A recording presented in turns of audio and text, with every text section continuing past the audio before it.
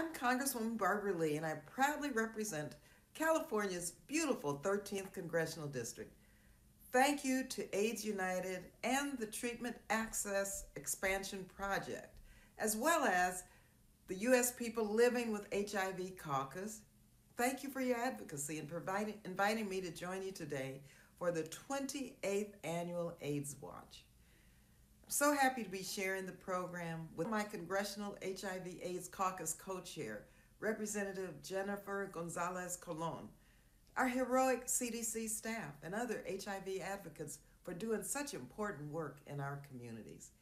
As we fight a global pandemic, the need for strong HIV advocacy has never been greater. Communities impacted by HIV are struggling under the burden of a public health crisis compounded by systemic inequality and racism. We have a lot of work ahead of us to build trust in our public health system, especially for communities of color. Not to mention, the previous administration waged an unprecedented assault on the rights of historically marginalized HIV vulnerable communities in the United States. That must be reversed.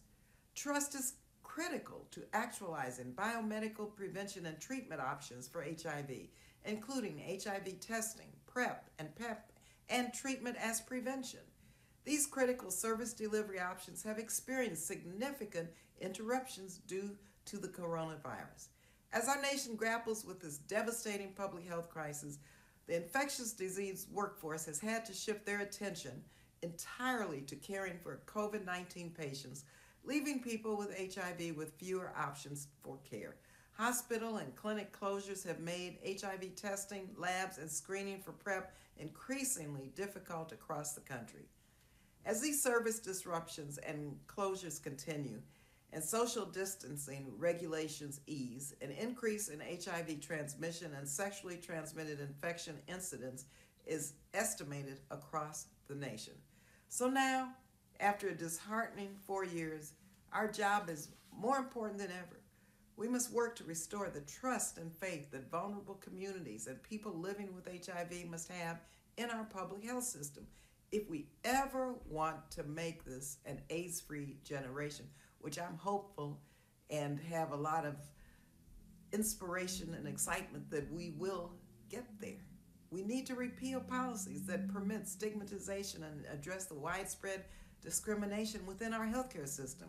We need to implement policies that increase funding and resources for vulnerable communities. And we need to eliminate unjust and punitive practices that target certain groups, including decriminalizing sex workers and improving HIV prevention for sex workers. I am confident that with the Biden Harris administration and with strong leadership in Congress, we can take the necessary steps to restore and uphold the rights of those impacted by HIV. As co chair of the Congressional HIV Caucus and chair of the House Appropriations Subcommittee on State and Foreign Operations, I am committed to fighting for more investment in fighting HIV and AIDS both here at home and around the world. Despite the regression of the last four years, I am confident that these next four years and the years to follow will be marked by unceasing commitment to being an AIDS free generation. Thank you all so very much for your hard work. Thank you for your, what you do each and every day. And um, I will see you on the other side of this pandemic. Hello. It is a privilege and an honor as a partner of AIDS Watch and a representative of the United States Persons Living with HIV Caucus Steering Committee to welcome you to our second virtual and 28th annual AIDS Watch. For all of you living with HIV, we commend you for the work you do to ensure policies are put in place to enhance our lives. For all first timers, we welcome you for embarking upon a new journey of leadership and allowing your voice and voices and stories to be heard. As a Black woman living with HIV and working in the rural South, it is important that we step up and demand a place at the table and let our voices be heard or we will be forgotten. Together, with our allies, we must forge forward, especially in the South, to change the scenario of stigma and discrimination. Our lives have meaning and worth. We will not be silenced. Wake up, everybody. It's a new day dawning. Let's do our part to end the epidemic, to end ignorance, and uplift policies that enhance the lives of people living with HIV. My voice is important. Our voice, your voice is important. Our voices together magnify. We are mighty in numbers. Let our voices speak truth to power. Happy AIDS Watch, everyone. Good morning and good afternoon. My name is Marianne. I am from the Treatment Access Expansion Project, an initiative of the Center for Health Law and Policy Innovation. What a year it has been. This time last year, we had our first virtual AIDS Watch conference. Parts of the country were beginning to close down, and many of us were entering a world of Zoom and virtual work, led by the years of advocacy from the disability community who have long used technology in education, workplace, and other spheres of everyday life. Many of us were also navigating what it means to connect with loved ones with intentional distance. A year later, an election later, a riot later, we return to gather together. I don't know about you, but I am a big bag of emotions. I am excited for 2021, don't get me wrong, but I'm also tired and hurt. Black people, brown people, trans people continue to be treated as if they deserve less and mean less, yet expected all the same to sit, listen, and play nice. I'm tired of the growing body count at the hands of police, at families torn at the hands of ICE, and the normalization of violence by white supremacists. Indigenous women continue to go missing and found murdered, and people that look like my mother, my aunties, my waipo, waigong, getting spat at, beaten, cut across the face, shot, and killed by people who are just having a bad day. And while I'm tired and hurt and definitely cynical, because these are not new issues or issues that can be solved with a band aid, I am pragmatic. And I know that we are sitting at the cusp of a promised new era of change. We not only have a president who lends more support for progressive policy than our more recent one, we also have a Congress, shout out to Georgia, with a Democratic majority. We know what we need and we know what we need to do. We have a short window to make to work and make sure that we pass legislation with a simple majority. But in order to do that, we need to remain a priority in Congress and a priority in the White House. 2021 has already seen movement in DC. We have seen the American Rescue Plan, which has brought more financial support to individuals and families. We have seen movement to undo Trump policies, like the recent letters to Arkansas and New Hampshire rescinding approval of Medicaid work requirements. We have seen significant bills like the Equality Act move through Congress, and we have started to see proposed policies like the proposed pathway for citizenship for people who do not have documentation. Things are getting done, and we need to make sure that our issues and our requests get done too. We aren't in DC physically, and we won't have the effect of blanketing, blanketing the Capitol with shirts that proudly proclaim this is what an advocate looks, HIV advocate looks like. But we will be present and we will make sure that our presence is known. I'm so excited for the next three days to hear and learn from you and others and to connect with people who have the same goal as I do come Wednesday. Make our voices heard and get the protections, the funding, the opportunities we need to support people living with HIV and end the epidemic. Thank you for joining us and welcome to AIDS Watch 2021. Thank you.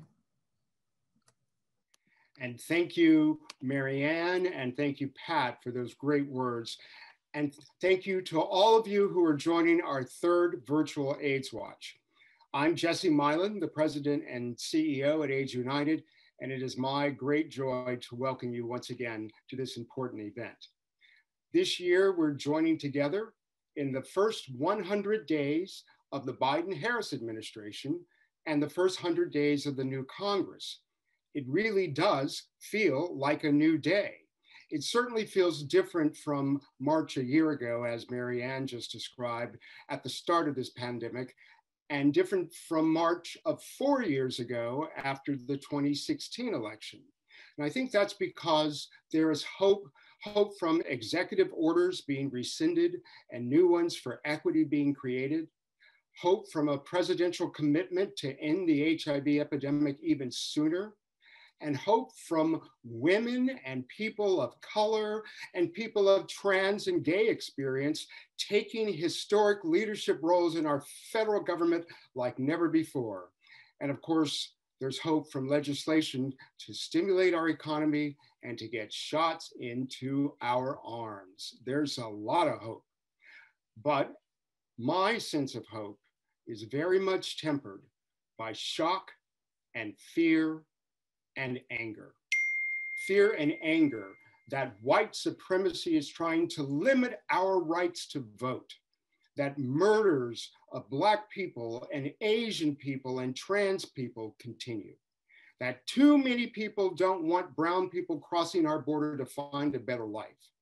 And I still have fear and shock and anger that an insurrection was attempted right in front of our very eyes. And like all of you, I'm still processing how the COVID pandemic has changed our work and our lives, and perhaps for good. But whether this year or last year or four years ago or 28 years ago at the first AIDS Watch, our reason for gathering at AIDS Watch is the same. That 40 years ago, a virus called HIV came into our world and is still impacting us today. I've been thinking quite a bit about that. What was I feeling in March a year ago or March four years ago? But also, what was I feeling March 40 years ago? Today is the 81st day of this year, but in March of 81, we were just three months away from the CDC releasing in June the MMWR reporting the first official cases of what we now know as AIDS. For those of us like me who are longtime survivors, we remember March of 81, but we probably don't remember it for anything very significant. I think if I think back, I was preparing for midterms in law school. I had no idea at that time that 18 months later, in the summer of 82, I would suddenly have these horrible flu-like symptoms that signaled that HIV had entered my body and my life. And I certainly had no idea that the virus would still be with me today. What we long-term HIV survivors have experienced over the years is what millions have experienced compressed into one year of the COVID-19 pandemic a virus that seemed at the beginning to only touch people in one community, but that quickly became a global threat. A virus with no cure causing widespread fear and isolation, a virus leaving people dying alone in ICUs, and people who are positive feeling stigmatized. A virus that is characterized by racial inequities, discrimination, and by a lack of access to care. Believe it or not, today I'm still waiting for my vaccine. That's both my COVID vaccine and an HIV vaccine. So if our nation can rally in warp speed to confront the COVID virus, the nation should surely rally around us to stop a virus that's been with us for four decades. And that's why we're here at AIDS Watch again, because the lessons and the successes, as well as the failures and the needs in our response to COVID, are ones that we've known in the HIV community for years. That access to healthcare, access to insurance, and health inequities must be addressed.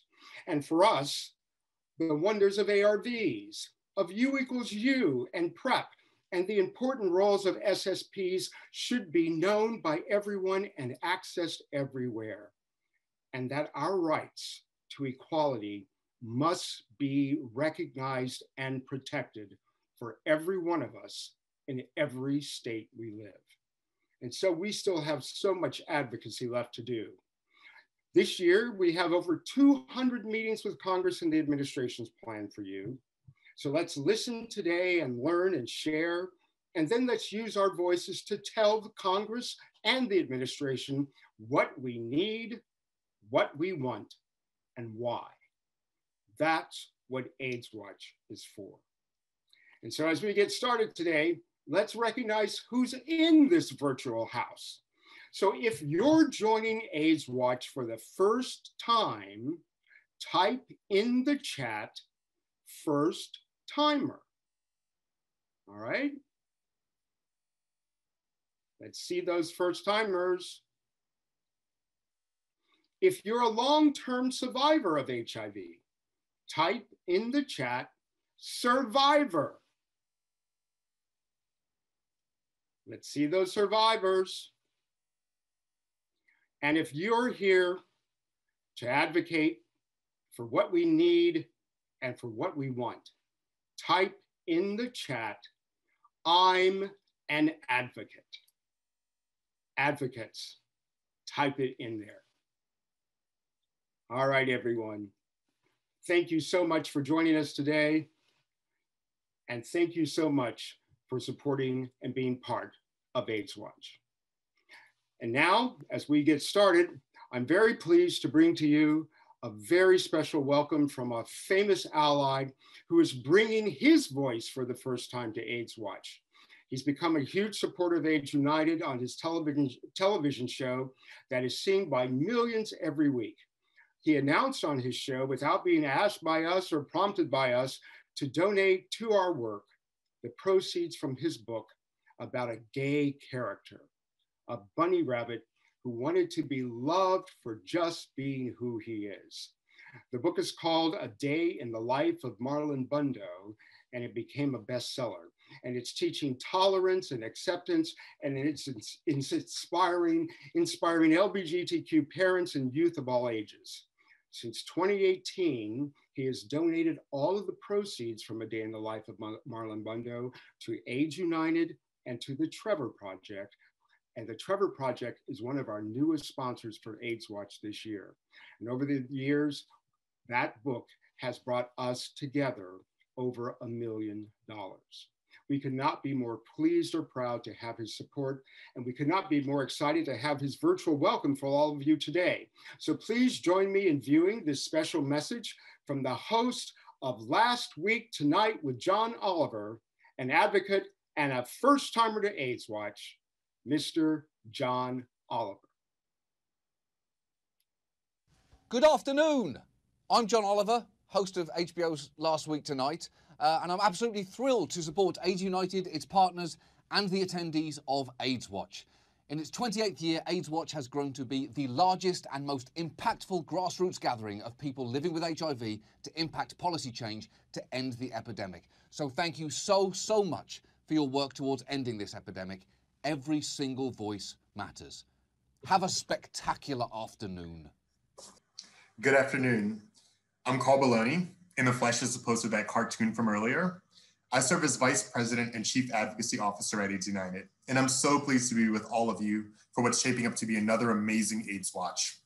First, thanks to all of you for lending your voices, and second, thanks to our wonderful supporters from Congress and the media, including HBO's who's been a great friend to AIDS United and the movement for the past few years and we are so appreciative of him for using his platform to amplify the call to end the epidemic. Without further ado, I'd like to welcome one of our own, a star in the community, Dr. Demetre Daskalakis, the new CDC Director of the Division of HIV AIDS Prevention in the National Center for HIV, Viral Hepatitis, STD, and TB Prevention. A self-described queer health warrior, Dr. Daskalakis is committed to ending the HIV epidemic and ending HIV stigma through, status, through a status neutral approach, which I'm sure we'll all learn more about. Welcome, Dr. Demetre, to the 20th, 28th Annual AIDS Watch. Oh, thank you so much for that introduction, uh, Jesse and all the other speakers. Thank you so much. I, before I even put my slides up, it's such a great honor to be here at AIDS Watch, um, even though it is virtual. Um, and as I uh, take a pause from HIV uh, to be called into the COVID space, um, I think that um, the, the, the words that Jesse said really echo with me so strongly that really the lessons of our pandemic, our HIV pandemic, and our lessons of the, uh, of the COVID pandemic are so similar. And so, uh, sort of coming as a, a human uh, who grew up uh, in in the world of HIV, first uh, medical care advocacy, and now uh, governmental public health. Uh, I'm really excited to be able to join you and uh, to take a, a, a few minutes uh, away from my my role in COVID and equity to to address you all. I, I also want to say that um, that one of the important lessons for those of you who are new to this meeting is that the line between advocate um, and government in HIV has always been fuzzy, and that's so important. So the work that you do is work that we do, and it really allows us to achieve uh, uh, the combined vision of, of, really controlling the HIV epidemic uh, in a way that is both lo loving and respectful to all the populations uh, who are uh, who are affected by this virus and others. So with that, I will share my screen uh, and will demonstrate my technological abilities in about one second if I do this right. I believe that other than seeing my email up, which is fine, you should now be able to see my screen. So thank you again. Uh, and I will uh, really focus my, my comments on uh, the CDC's effort to end the HIV epidemic and reduce disparities. And I, I feel like this group, especially, this will resonate that really there, there's nothing that really ends. And I want to start with that, that really this is about what I like to think of as really tight or elite control of the HIV epidemic and the work that we can get to to prove that even in the absence of the vaccine that Jesse appropriately is called for or cure, um, what we do have at hand is able to really push us in the direction where we're able to achieve pandemic control and end the epidemic by achieving this higher level of, uh, like, as I like to call it, elite control of HIV in the US. And so, in case you don't know me, I'll introduce myself. Uh, my name is Demetre, and uh, I am uh, an HIV doctor. That's how I came up. But I really started um, from the early days uh, in sort of advocacy and, uh, and, and working in the community before I was a physician. Um, and you know, I worked in clinical care, in research, and then when I moved to New York I actually started doing what I didn't even know was called public health, but uh, launching uh, HIV testing and prevention programs in commercial sex venues uh, and, and, and also doing some important vaccine work in meningitis during a big outbreak in, uh, in New York City. Uh, that led me to public health, where I uh, ran the, the, the um, HIV bureau at the New York City Department of Health, eventually becoming the division director um, for disease control and then ultimately being the uh, incident commander um, for both a large measles outbreak and then for nine months of a COVID vaccine, which meant that I was uh, the prime contact point for the Department of Health uh, for so many people who were doing work to uh, to really control the COVID uh, pandemic as well. So that's where I come from, and now I'm at CDC, um, and it's a really exciting time. And again, um, a lot of energy, but also a lot of challenge. So I'm really happy to be here to talk about the amazing chance that we have.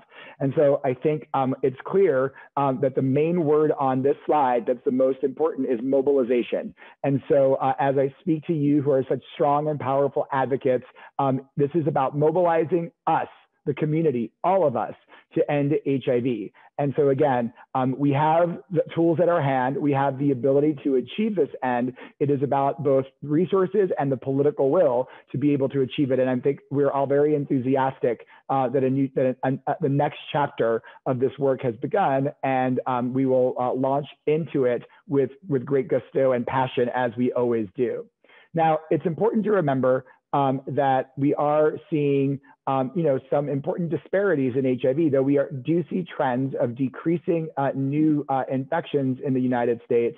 Um, we are seeing a, a, bit of a plateauing, although again, the trend continues to be down. But when you unpack that and really look uh, from the perspective not only of aggregate or overall data, but also uh, by race and transmission group, what you see is that the decreases that we're seeing in new HIV infections um, are actually overrepresented among white, gay, and bisexual men.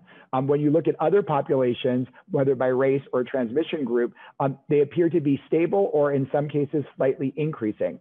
So this really, I think, highlights uh, a very important point made by all of the folks who opened the session here, which is that HIV is uh, a disease that is driven by, uh, by racism, sexism, homophobia, transphobia, and all of the isms and phobias that come together.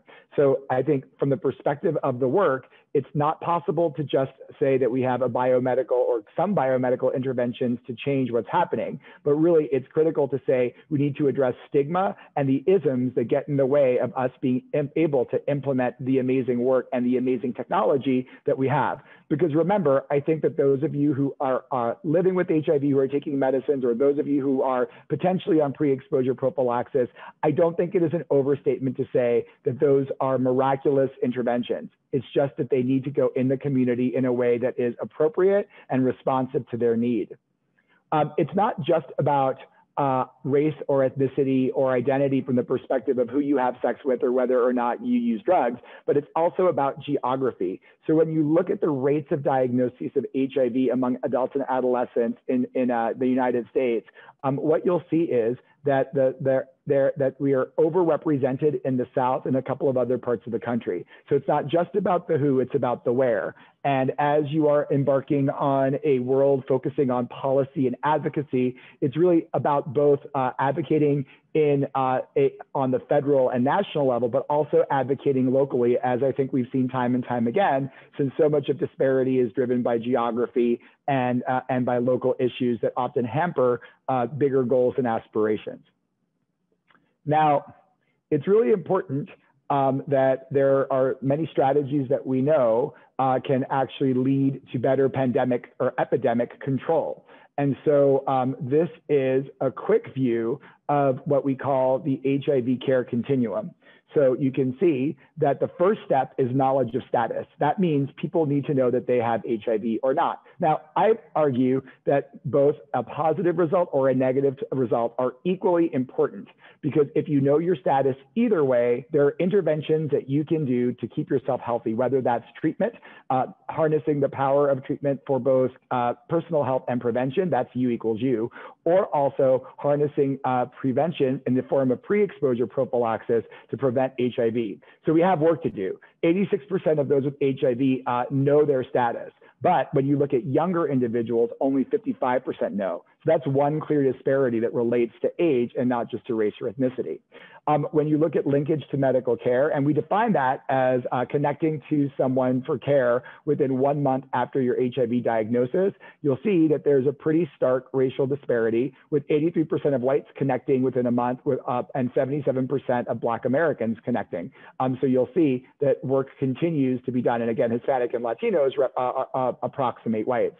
When you look at receipt of medical care, and that means um, having a CD4 test or a viral load test during a year, a very similar trend can be seen with uh, whites having a higher percentage uh, and Hispanic and Latino individuals and Black Americans being about the same. And then viral suppression, which is not the end all and be all, but a really important marker of good care, shows again a similar disparity with whites demonstrating 71% uh, who are who are uh, uh, with HIV who are have viral suppression compared to a, a little bit over 60% or 60% for Black African Americans and 64% for Hispanic Latinos. So th though again, viral suppression is not the end all and be all, there are important other qualities of care that are critical. It is definitely a good gauge of, of where we see disparity in the system and where more work needs to be done. This is another way of looking at this from the perspective of, of new uh, uh, prevalence of HIV infection uh, compared to population in the United States. So if you look on the left side, that left donut, that represents uh, what percentage of, of uh, people living with HIV identify as African American, Latino, white, et cetera. When you look at the, at the donut on the right, that actually shows you the breakdown of the, uh, the U.S. population. So it does not take a high level math, a high level mathematician to see that 13 does not equal 41%. So 13% of the population is African American when 41% of people living with HIV are African American and 18 does not equal to 23 nor does 60 equal 29. So this really, I think, in a very clear way demonstrates the challenges and also the opportunities to improve health equity uh, and use HIV as the guiding force to be able to do this, given the fact that this has been so much the core of the work for so many decades. Um, it's also important to note um, that despite reductions that are seen overall in women, for instance, um, there continues to be disparities depending on gender status, whether you're cis or trans, and also race. So transgender women, for instance, have an HIV prevalence of 14%. Now, it's important to remember you got to take that in context. So that's a smaller population, but a lot of people are living with HIV, and that compares to 0.5% of the overall US population. And also, um, the uh, disparity is pretty uh, uh, extreme in, among Black women, with the rate of new HIV infections among Black women being 13% that of white women. So I'll tell you, um, having come from a jurisdiction uh, before I came to CDC that worked so hard to ending the HIV epidemic, it is it is terrifying the notion that at some point there may be a moment where we're going to say we've ended HIV in white women or white people, but we haven't ended it in black women or black people. So this is what we're up against, and this is what the charge is to not only focus on the biomedical, but also on the equity issues um, and the uh, strategies that we have to create equity rather than just equality among populations. Speaking of equity and equality, the, the gaps in PrEP are also important to discuss. So when you look at uh, this slide, it represents PrEP coverage among people over 16 years by race or ethnicity in the United States. And what you'll see is that about 18% of the just over 1 million people who could benefit from PrEP are actually on it. Um, and this again is 2018 data. But when you disaggregate that data and take a look by race and ethnicity, you see that um, that white individuals um, have a much higher rate of coverage than Hispanic, Latino, or Black African Americans um, who would benefit from PrEP. So again, not only are there uh, are there inequities in treatment, there are also clear inequities in prevention, and again, lots of lots of room for ongoing work to improve that. Uh, again, uh, which is often driven by racism, sexism, and homophobia. So really focusing uh, on the core driver as opposed to some of the symptoms of the disease instead. Um, when you look again at viral suppression, this is another uh, way of sort of looking at this uh, from the perspective of the 2018 data. You can see again that when you compare Black people um, with uh, with folks overall living with HIV, that there are gaps in care, there's gaps in retention, and also in viral suppression, which again highlights the importance of, of work to address the equity of how we deliver these services. Um, I also think it's important to remember that one population that is so important and that uh, I, that in so many ways is so stigmatized in our care system and our service delivery are people who inject drugs. So um, this slide uh, reminds me to tell you that in the 90s, um, we had over 20,000 people per year who were diagnosed with HIV related to injection drugs um, through the miracle of HIV treatment, the miracle of testing, and the miracle of SSPs and the availability of sterile syringes and other equipment, what we saw was an over 90% de de uh, decrease in the number of humans who were being diagnosed with HIV related to injection drugs. In the last few years, we've seen a plateauing, and that plateauing is at least partially driven by outbreaks that are happening in communities. And I'll tell you, um, I had the opportunity to be involved with one in Charleston, West Virginia, and the important work of identifying uh, clusters of uh, people living with HIV is so important because it is about people. It's about individuals who are not getting the services that they need, who are on the fringe of those services, and really identifying these, these uh, groups of people allow us uh, to work with local jurisdictions to use the tools that work, testing, treatment, PrEP, and let's not forget CORE, comprehensive syringe service programs that really allow us to interrupt transmission and uh, again bring us into that elite control of the epidemic, even among people who inject drugs. It's important again to remember that HIV does not stand alone. And so that prior slide, um, I should also say, um, very often when we see HIV, there's also a high number of humans who are getting diagnosed with viral hepatitis. These syndemics are, are working uh, together, and we have to work in a more cohesive fashion to be able to address the syndemics um, rather than just focus on HIV or viral hepatitis. Um, this is another example of, of syndemics. So this shows um, the race and ethnicity of individuals, male and female, who are being diagnosed with syphilis, primary and secondary. That's the early infectious stages. And you'll see that, um, that there is a very clear race disparity as well. STDs are associated with a two-time increase in acquisition and transmission of HIV. Recent data says that 10% of new HIV infections can be attributed to those STDs. It's important to also remember the epidemiology that about half of men diagnosed with syphilis have HIV. And uh, it's important to remember every time we test for an STD or an STI, we will decrease new HIV infections by identifying someone, treating them, and also offering them either HIV treatment or prevention treatment, depending on, uh, on their situation this is where I take a step back and say um, it's important for HIV to really evolve and realize that we can't always be the diva in the room. Sometimes we have to be the background dancer. And working with these syndemics, it's critical that HIV support the work of other areas and other infections that drive our, our, uh, our epidemiology. And that includes, with great certainty, uh, drug user health, viral hepatitis, and STI. At its core, I go back to what I said at the beginning. Stigma, housing insecurity, and systemic racism can influence how people access HIV prevention and treatment services. We cannot address HIV without addressing the drivers. We cannot uh, create programs without creating programs that uh, need to strive to be anti racist, anti sexist, and address both homophobia and transphobia. So, again, critical pieces of our work together. So where are we? Uh, let's talk about the, H the ending the HIV epidemic uh, initiative. So I'll remind you that um, that this is a, a, single initiative, but the work that is generated from there really tracks very closely to the work of the Division of HIV/AIDS Prevention, and really our work as uh, as a nation, both uh, governmental as well in the as in the advocacy world, to address testing more, treating more, preventing more, and interrupting transmission. So all of those things are core elements of EHE. But let's tell you where we are with the initiative.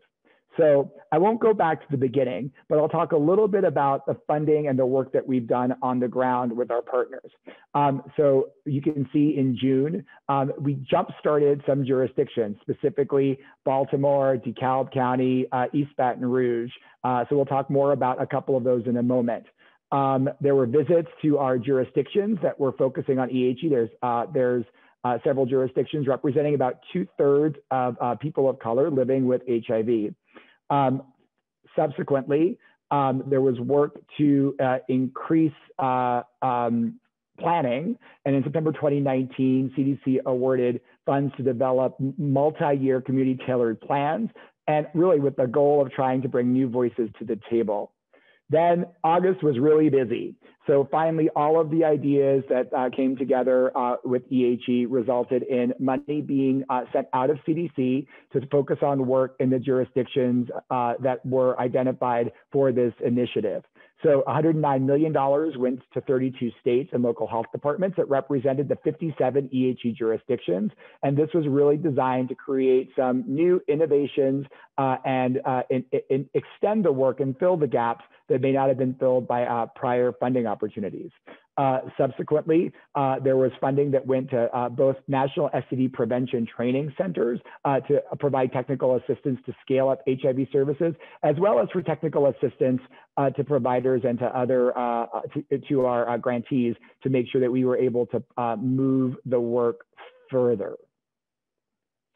Um, additionally, Um, another very important innovation, uh, which uh, was at least partially driven by COVID and the need for figuring out how to continue testing work even uh, during the uh, pause that a lot of care went to, was the award of $2 million from the HHS Minority HIV AIDS Fund for ma mass mailing of HIV uh, self-test kits to transgender women and other racial ethnic minority communities. So really important, and this is really launched with, a, with uh, sort of great gusto. We uh, have about 100,000 tests that we expect to give out before World uh, Testing Day in June. So uh, really exciting and a, a, strategy that I, that I hope uh, will persist even after COVID is, is done. We continue to work in uh, October to increase staffing um, on the ground uh, to local jurisdictions. And then ultimately, um, the fruition of, of that initial funding uh, that th was designed to do planning was that jurisdictions submitted revised jurisdictional plans to us, and they're currently under review by us as well as by HRSA. And so um, we will also, uh, many of them are also available online uh, at the individual jurisdictions web pages. So if you haven't taken a look, take a look at where you live. Um, the, many of these are posted. So, what is the ending the HIV approach? So, I'll say again, this is really has been the core of uh, CDC's work uh, before EHE existed, and that is making testing simple, accessible, and routine. Linking people to HIV care because we know treatment is great for you because it keeps you healthy and it has this fabulous side effect of preventing transmission of HIV. So, by keeping people living with HIV healthy, um, we can prevent transmission you can call it treatment as prevention. You can call it U equals U. The notion is that if you treat, you prevent. So it's great. But for people who are not living with HIV, but who potentially could be exposed, we have our third strategy, which is pre exposure prophylaxis plus syringe service programs. So these are two strategies that allow uh, for individuals to take control of their own prevention and uh, to either go on uh, on uh, medication to prevent HIV and or to access sterile equipment uh, where they are needed and permitted by law to prevent transmission of HIV through uh, shared uh, equipment for, uh, for injection drugs. Additionally, uh, important work to make sure that we, uh, we find the groups of people who are at the leading edge of the HIV epidemic and make sure that they're getting services and, and testing, treatment, prevention, uh, and SSPs if necessary uh, to really interrupt clusters that are growing in the community.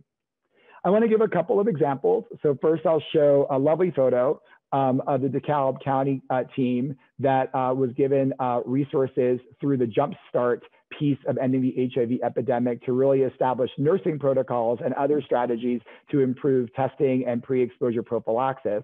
And I'll also show you this lovely team from East Baton Rouge Parish, Louisiana, of community health workers um, who actually brought prevention services out in the community. And you can read the lovely quotes from both of the groups. So really a lot of work going on in on the space and really exciting to see um, some of some of these on the ground uh, launching um, really early on in EHE. So I'll move on to talking about uh, uh opportunities, budget, and priorities. So I think it's there are several areas in which we continue to work to address disparities. One that has been a long-standing area of work is HIV criminalization.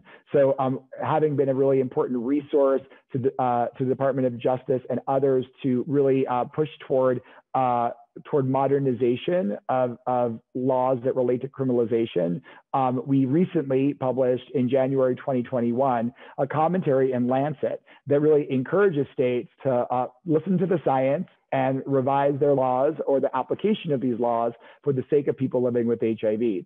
I already told you about the self-testing, and this time I'll also include the web address together.takemehome.org, which is how we uh, uh, are, are harnessing these 100,000 tests to be able to get them out to the community. And I, as I said, I expect that we'll be done uh, well before June, but at least by June for World Testing Day with that first round of, uh, of uh, testing kits.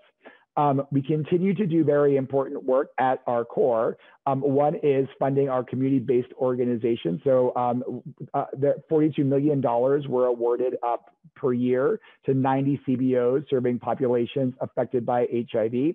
And so um, that will continue to happen and provides us the opportunity to really reach deeper into the community than we can through some of our other strategies.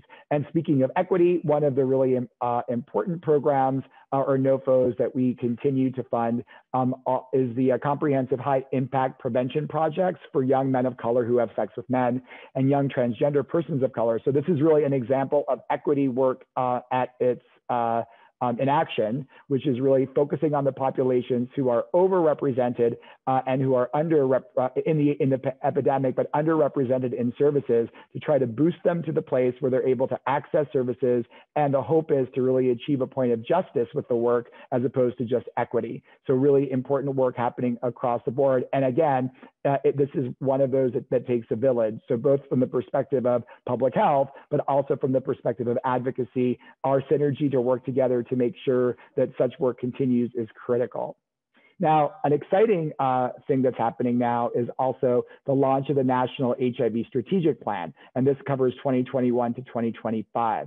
So it pro provides us opportunities to work uh, in a different way with federal agencies that are not involved uh, in EHE so that, to reach our goals. So not only focusing on the 57 jurisdictions, this is a national plan, and we're excited to, to take next, next steps um, to be able to work with others to implement the vision. One exciting part of the vision um, is the, uh, uh, the uh, status neutral approach to HIV services.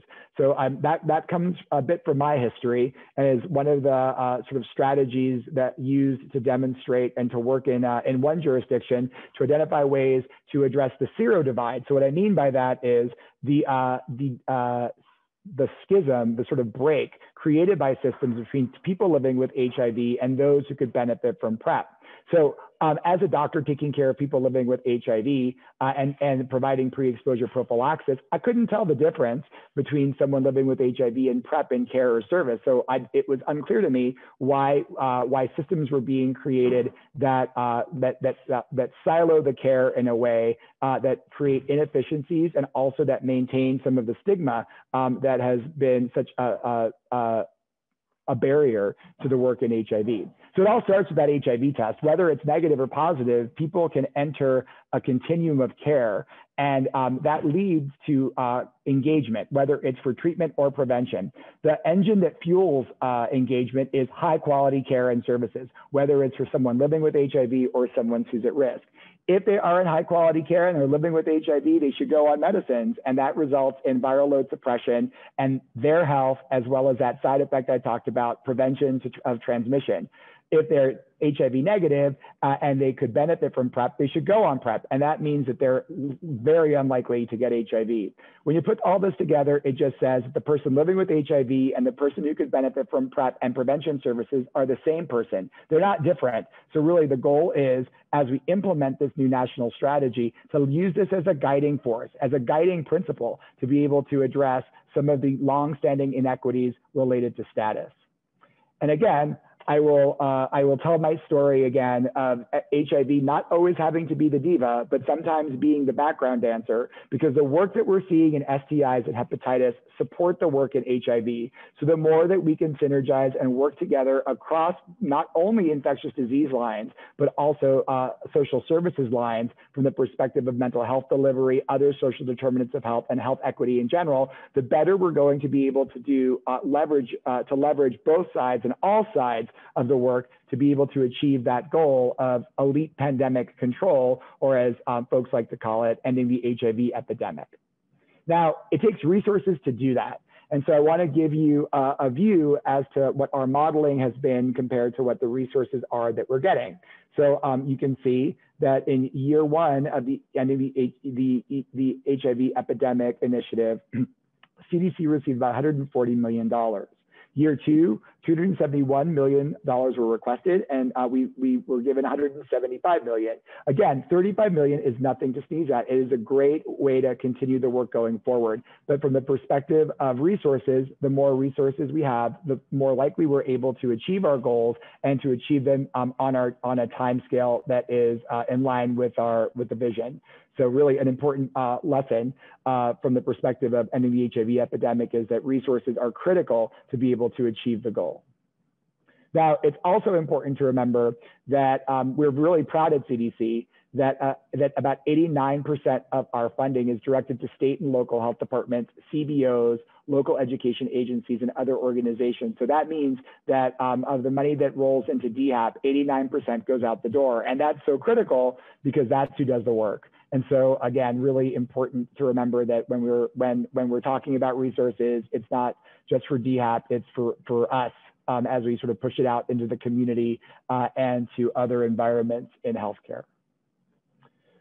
So in terms of priorities, I think it's pretty clear that we cannot end HIV or address HIV without being even more focused on equity. So we're looking at equity not only from the perspective of the work that we're doing on the outside, but also looking internally at DHAP to make sure that we are really representing our community and the community that we are working with. So looking at our, our workplace, as well as looking externally at how we can even better, be even better at identifying opportunities to uh, increase equity using our, our funding opportunities. Um, we will continue to work on expanding self-testing efforts. Again, COVID had an impact, and sometimes things are things that came out of COVID can be good, and some things they can sometimes they can be bad.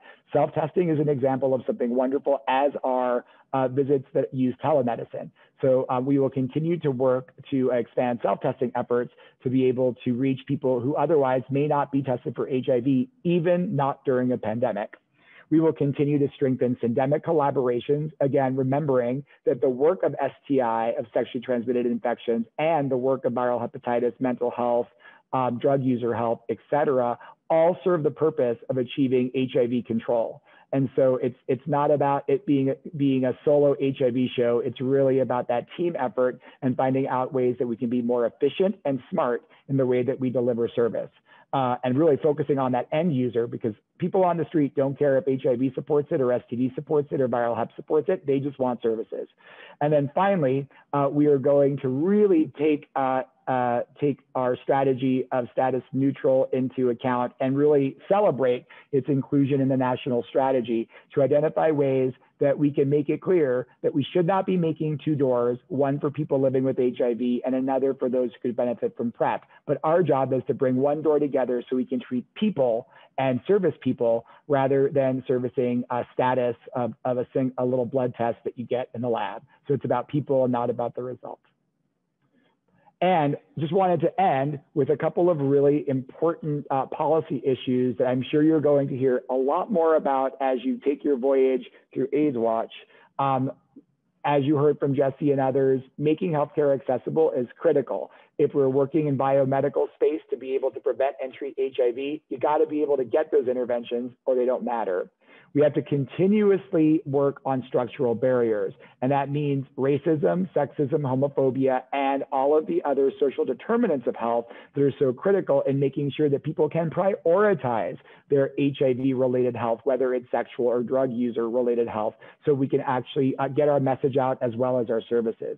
We need to uh, continue to have uh, advocacy on the local and national level around modernizing HIV criminalization laws uh, expanding practitioner scope of practice so we can better use pharmacies, nurses, and other practitioners to provide uh, interventions such as treatment and PrEP, and cannot forget uh, critical to support comprehensive syringe service programs since they are such an important piece of not only delivering sterile uh, sterile injection equipment, but also HIV related services as well as services uh, for drug treatment. So I want to take us back to 40 uh, to a little bit less than 40 years ago, but let's go a little bit further back and think about the HIV epidemic and and where we've been and where we're going. So um, I think that in this world, um, not only are we going to be able once again, I think, to take to the streets, but for now we got to take to the internet. So the work that you're doing, even in this virtual space, is so critical. Um, and I think um, the, the, what you will learn today is that every conversation, every outreach that you conduct is a part of making HIV history. So I want to thank you all for being here. I want to thank AIDS Watch for having me here. And uh, I hope that you have a wonderful and productive meeting. And I'll end with this. We do have this opportunity. We can't squander it. So let's continue to do that, work together to end America's HIV epidemic. Thank you. Thank you, Demetre. Man, you rock. We are so grateful that you were able to join us for AIDS Watch, and we send you our best wishes and congratulations for the important roles that you play for all of us because we know that your partnership with us and with our community means that you are keeping our voices foremost as you work to end the HIV epidemic and also as in your new role as you help to address the COVID-19 pandemic. Thank you, Demetre. Thank you so much. Really Thank you. Your partnership is important to us. And have a wonderful, wonderful meeting. I appreciate, thank you for having me. Have a wonderful day. All right, man. Thank you. Bye. Thanks. You rock. You rock. Talk to you soon. bye bye.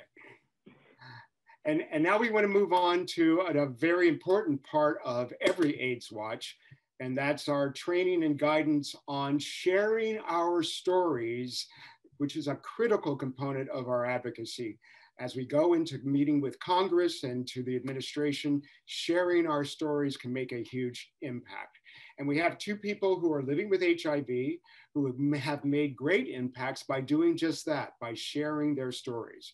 Dr. Carrie Foote, who's chaired the HIV modernization movement for Indiana, and Malcolm Reed, who's director of programs at Thrive SS in Atlanta, and he's the chair for federal policy for the US People Living with HIV Caucus. So welcome Carrie and welcome Malcolm. Please help us share our story. Thank you, Jesse, um, and thank you to all the amazing staff at AIDS United, um, the PL HIV Caucus.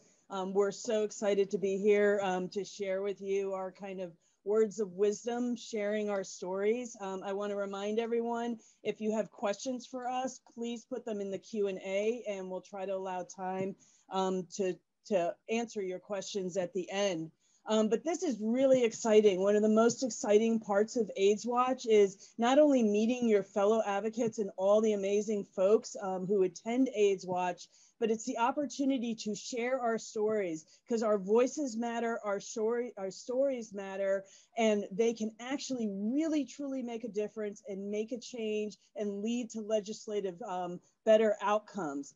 So first, what you want to think about is what can you expect when you meet with your legislator here at AIDS Watch, you know, um, whether it's here or you go, you know, in your local communities that you're meeting. So at AIDS Watch, normally and everywhere, you're just going to really probably meet with your legislative aides. Um, if you're fortunate, you might get to meet the legislator, um, but don't worry about that because your legislative aide is your friend. Um, they basically are the eyes and ears for your legislator. So you normally will meet with them. The meetings are super short, um, anywhere from like 15 minutes to 30 minutes per legislator. So you don't have a lot of time, especially if you have a large delegation. If the meetings are in person, if we were in DC, you might be meeting in the hallways, you might be meeting in their conference room, lobby wait areas. Um, you don't really know where you're going to meet. It just depends upon what kind of space is available and how many people are on your team. Of course, this year we're all going to be meeting, for those of us meeting on Wednesday, it's going to be virtual in a virtual space. Um, everyone on the particular state will meet with their state senators. Those will be larger meetings and an opportunity to say, hey, we care about this issue. Look how many of us from our state came to show up at AIDS Watch to share with you our stories and what's important to us. The representative meetings for district members will be much smaller um, there. So when you go into your meetings, what are tips for effective meetings? Number one, know your issue. So at AIDS Watch, there's multiple policy briefs that they're going to talk about later today. Learn about those, learn what bills and legislation is associated with those so you know what to ask for when you're done sharing your story.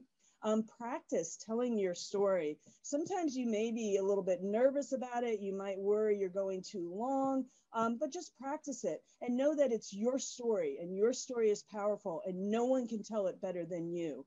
Um, but practice telling it so you kind of get it like, okay, I've got it down. I'm within two minutes. And then with your team, you want to plan an agenda with your delegation before the meeting.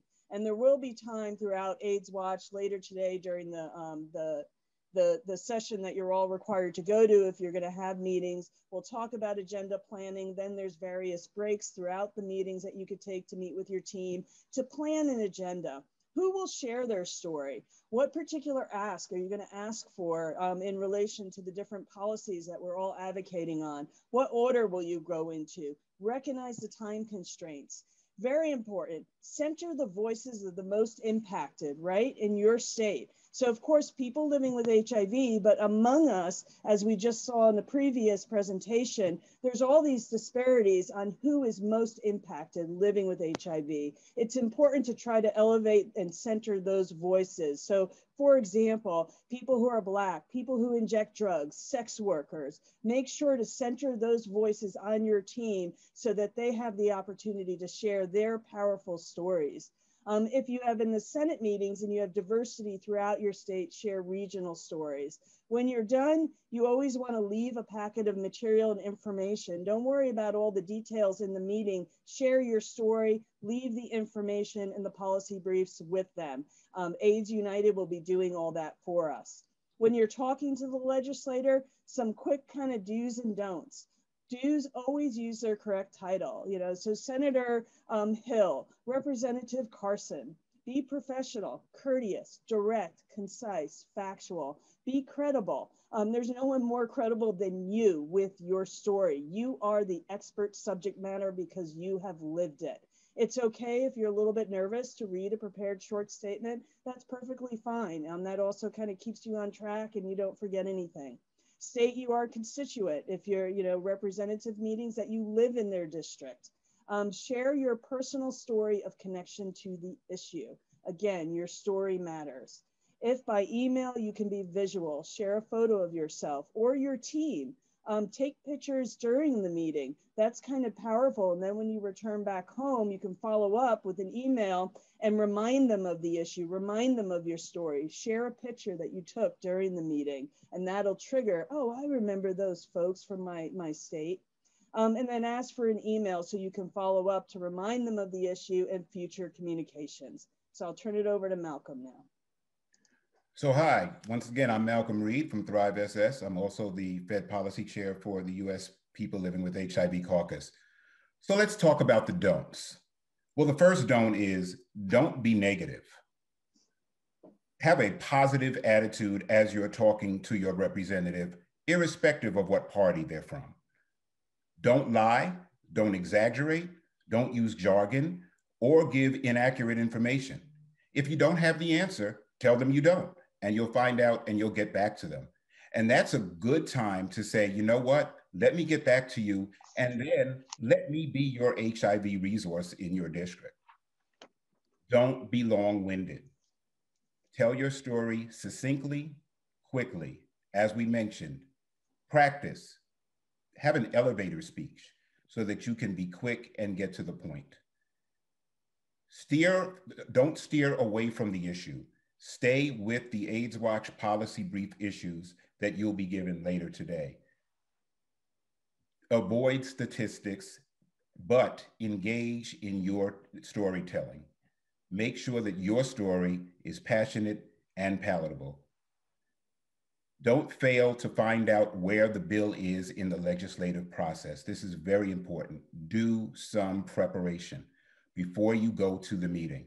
Make sure you know what bills you, you want to talk about and where they are in the legislative process. Are they in the Senate? Are they in the House? What stage are they in the House? This affects who you want to contact in the legislative process. And finally, don't give up. Advocacy and activism are a marathon, not a sprint. So don't give up, but always have fun and go in there knowing that you are going to make a difference. So let me give you an example. I live in the state of Georgia.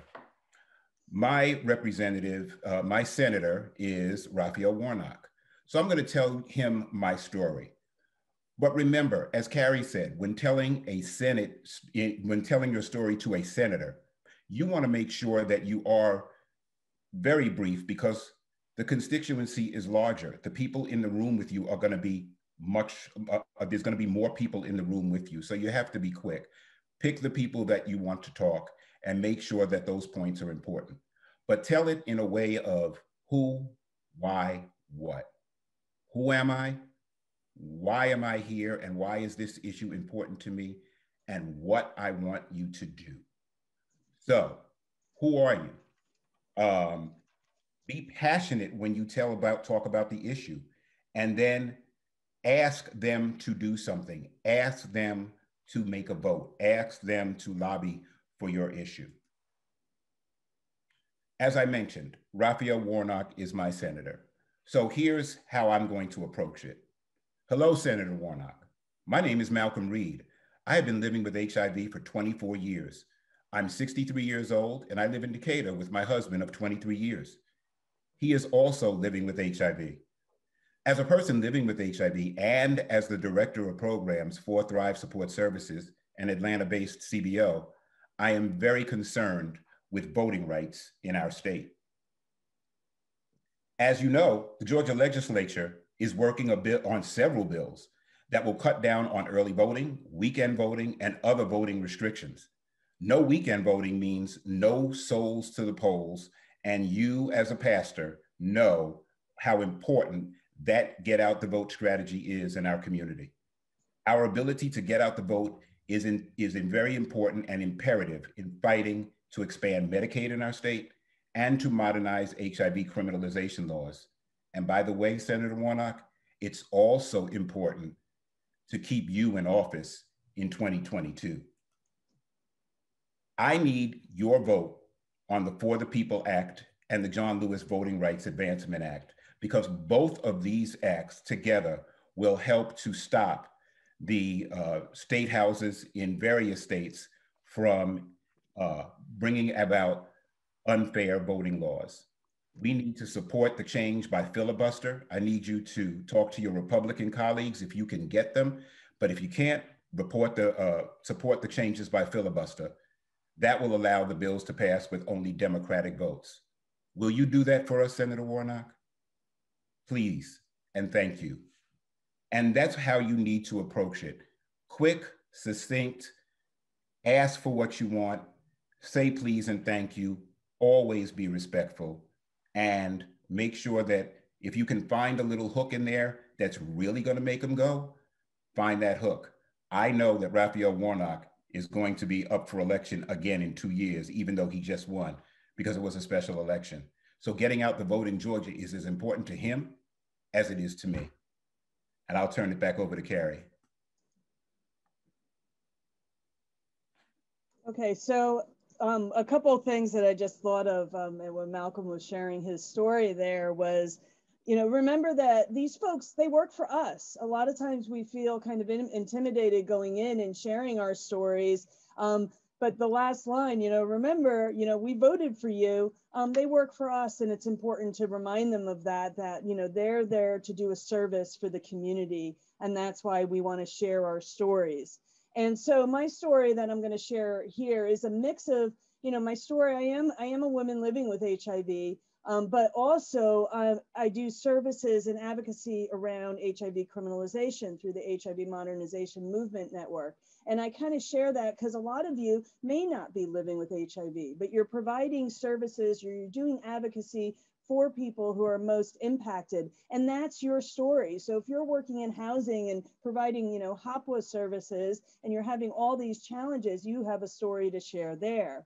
So you know who am i? So basically you know in my story i would kind of just start off you know, hello, Representative Carson. I am a professor at IUPUI and I'm a woman living with HIV for over 30 years. I lead the HIV modernization movement in Indiana, we are a statewide coalition of providers and people living with HIV seeking to modernize several laws in our state that unjustly criminalize people living with HIV, and they pose a barrier to ending the HIV epidemic.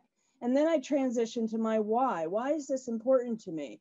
And I just say, well, you know, did you know that Indiana is just one of many states that criminalizes people due to their HIV status? That hundreds of people across the US have been prosecuted under these laws, nearly all in situations where HIV transmission wasn't even possible.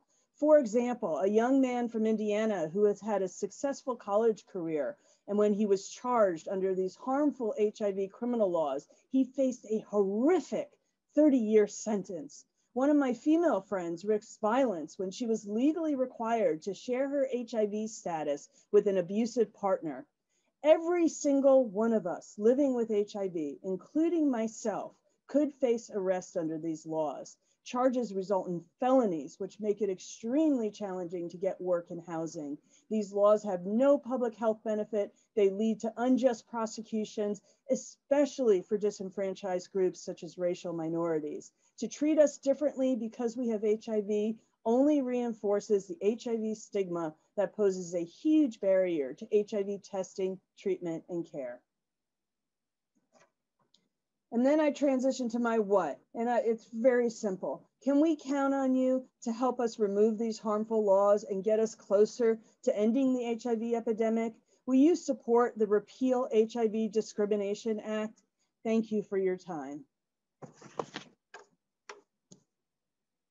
So in closing, you know, basically we just want to really emphasize that all of you have a story to tell. And each of you, your stories matter and they can make a difference. Our stories are powerful. Together, we can end the HIV epidemic in the US and ensure that those of us living with and most vulnerable to HIV can thrive. Um, so with that, we do have some time. If anybody has some questions for us, we'd be, we'd love to answer them. Yeah, are there any questions in the chat box? Let's see any. Again, while we're waiting for questions, I do just want to um, emphasize that there will be some sessions tonight or a session tonight at 6.15, I believe, with Soapbox. And Soapbox will um, tell you where you're supposed to be um, as far as uh, who, you, who you're gonna be talking to on Wednesday. And um, I'm also sure that you will get the policy briefs um, once they're read in this session. So study the policy briefs. That's very important. Make sure you understand what the policies are that we're fighting for, and then you can speak to those policies. So take some time tomorrow um, in between sessions to look at the policy briefs, read them, figure out what you want to talk about, and then talk to your state lead. So I see there's a question, Malcolm. What for us? What are some things you want to steer clear of? Um, again, I'm not sure. You know, you, you want to stick to your your issue that you're advocating on. So when you go into these meetings and you share your story, your team will kind of identify. Okay, you, you're going to focus on criminalization. You're going to focus on other civil rights. Um, you're going to focus on appropriations and funding. You're going to focus on sex education. Um, so try to just you know kind of kind of stay in your lane on your issue and stick to that um, and then i would say steer clear of just going back to the don'ts you know don't be negative always be positive walk into those meetings seeing every legislator is a potential ally willing to to do better in terms of their laws and advocacy and they're there to learn from you um, so just go in there with a positive attitude um, malcolm i don't know if you want to add to that yeah, no, I don't have anything to add. You just want to be positive and you want to make sure that that you are working with your state lead and, and the other folks in your state um, to make sure that you guys are in sync with the issues that you want to talk about. I think somebody put in there are the, are the meetings Tuesday or Wednesday. They are Wednesday. Tomorrow there are breakout sessions um, that you can go to and you'll get a schedule for that. And then another question I see in the Q&A, will you be forwarding bill stage information for bills included in the policy platforms? Um, I, I, know that um, the policy briefs are, are posted. I'm not sure if they say exactly where they are in the process, but those are great questions as we're just starting AIDS Watch. Ask your team. Somebody will know who's really actively involved in the different issues to find out where they are and kind of save you the trouble of going on the internet um, to kind of dig up that information. There's an incredible, incredible wealth of information of the folks who attend, um, who attends AIDS Watch, and everyone is so willing to help, so willing to, you know, guide you along the way. So don't hesitate to just reach out and ask. So there's another question that just popped up. How do I find the team for um, for Ohio? So I don't know if you, when you registered for AIDS Watch, if you said you wanted to go to the Hill visits. If you did, you should have received an email from Soapbox with your schedule. And in that, when you click on that link, it has the team that you'll be um, paired with. So take a look to see if you have that information. If you don't, um, I guess we can get you in touch with somebody from um, AIDS United or Soapbox. Um, that's from Mon uh, Mona Hurst from Ohio that's trying to get them. So Mo um, Mona, I don't know if you you know receive your email or not from Soapbox, but if not, um, reach out to somebody. And I think somebody asked if today's meeting was mandatory. Um, um, I presume that refers to the soapbox meeting. For folks who want to attend the the uh, legislative meeting visits on Wednesday, my understanding is it is mandatory.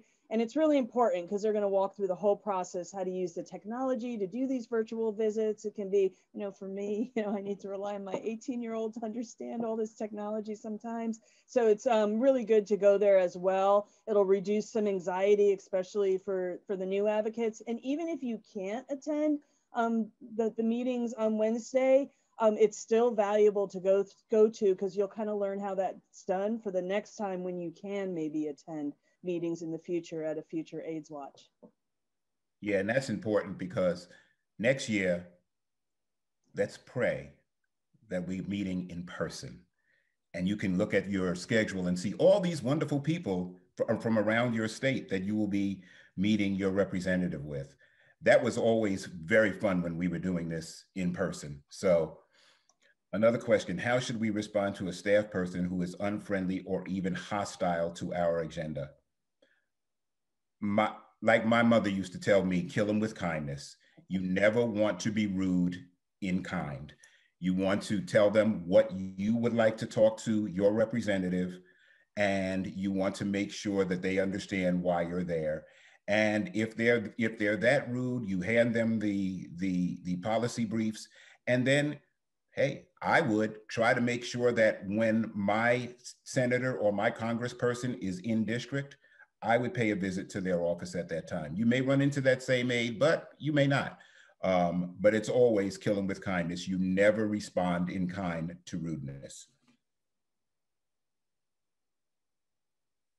And I would just add to that again, it's, you know, one thing I've learned, um, you know, we're all very passionate too. And sometimes our passion comes off as anger for people who aren't ready to hear, you know, who aren't ready to change or do better with their policies.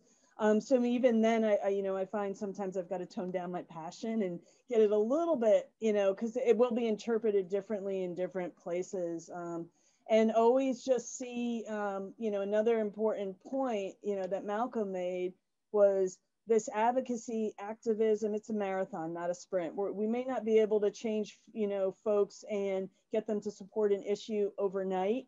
Um, you know, it takes time to change hearts and minds sometimes and just little by little you know you just start you know sharing your story educating about hiv and where we're at and then share this amazing work that we can end the hiv epidemic. And we need your help to get there. And you can help us do this in our state. Look at the amazing things that we're doing. And then at the end also invite them invite them to your organizations if you work for some. So if you work for a great place um, you know say hey when you're back in you know you're back home you know in indiana come check out the BU Wellness Network and the great work that we're doing in the great state of Indiana to end the HIV epidemic. And then, you know, they might just take you up on that offer. Invite them to your, you know, state AIDS walks, your local AIDS walks, um, to join those efforts so they can learn more than when they're back home, actually on the ground in your states. And like I said earlier, you could theoretically end up being their HIV expert somebody when they're when they've got a question about HIV, they might call you. So so look for that. Um, so the questions are coming in fast in the chat box. I don't know if I missed some. Um, I thought I saw one from Nora. I'm gonna try to go, go back up to that one. Policy briefs are on the um, the AIDS United website, the AIDS Watch. Um, they're all there, nicely okay. organized. Um, for the folk, the person who asked that. Hey, Nora, if you don't mind coming off mute, I saw a question from you and I can't find it, but I thought I, I remember when I saw it, I wanted to answer it. Sure. We had a question in the Q&A. How is best for the legis for the advocacy team to follow up with the offices after the meeting? one thing that I do, um, I'm not sure if this is best, but one thing that I do is when I get back home, I send a thank you note. Um, um, I think Barb mentioned this on the Wednesday New Advocate training session. Um, I I handwrite a thank you note. And I know I'm, I'm an old guy, so I handwrite stuff and I didn't send a text or a tweet or whatever, but I did. I hand I used to handwrite notes and, and, and send them back. But I'm, I suppose you could send a tweet or send an email um, thanking them. And Carrie mentioned it in, in her section when she said, take a picture and then send that to them with the email so that they remember you. Carrie? Yeah, and so what I try to do as um, the state lead is I try to um, send one email, kind of a group. Thank you for meeting with us for both of the senators. Um, and then I try, if we were at AIDS Watch, I would have included a picture. And then I would have included an ask just to remind them, because sometimes they don't follow up on the ask. And I'll just give you an example. Um, Congressman Carson is amazing, um, you know, an angel here in Indiana, amazingly great work um, that he does in Congress. Um, each time I've been at AIDS Watch, I've asked him to co-sponsor the Repeal Act. Each time his office has said, yes, we will. they still haven't signed it. So this time I'm really gonna hold them accountable and say, you know what, you've told us twice. And sometimes it's not intentional, they're busy, they're super busy. Um, so those reminders, doing, doing them politely, hey, we met with you, you made this commitment to support this issue, um, make it easy for them. Here's the, the, the, particular, you know, send a link on the act that you're asking them to support that they said they would support, add their name to the bill and that sort of thing and follow up. So you can do it in different ways, but everyone is, you know, you could just reach out, just say thank you. It was wonderful meeting you. Um, and you know, and the pictures are great because pictures help tell your story and help them remember that. I see somebody has 63 people signed up. Whoa, what state is that? Awesome for your Senate meetings. That is incredible. But that's a that's a lot of people in your Senate meeting.